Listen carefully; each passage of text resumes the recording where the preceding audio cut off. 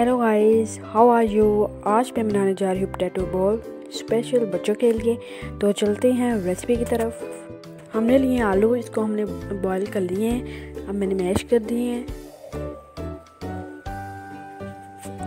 एक चम्मच नमक।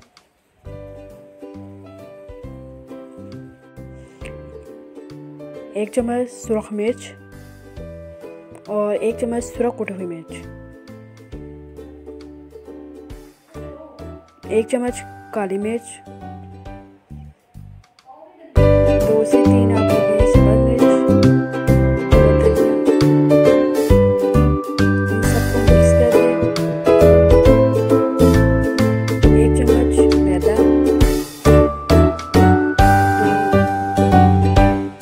चम्मच कॉर्नफ्लोर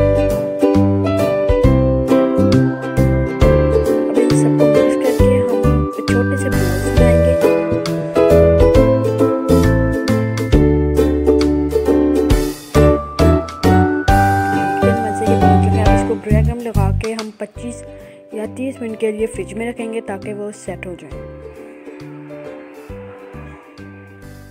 अब हमने ऑयल गरम कर लिया है। अब इसमें हम आहिस्ता आहिस्ता एक एक करके डालते रहेंगे।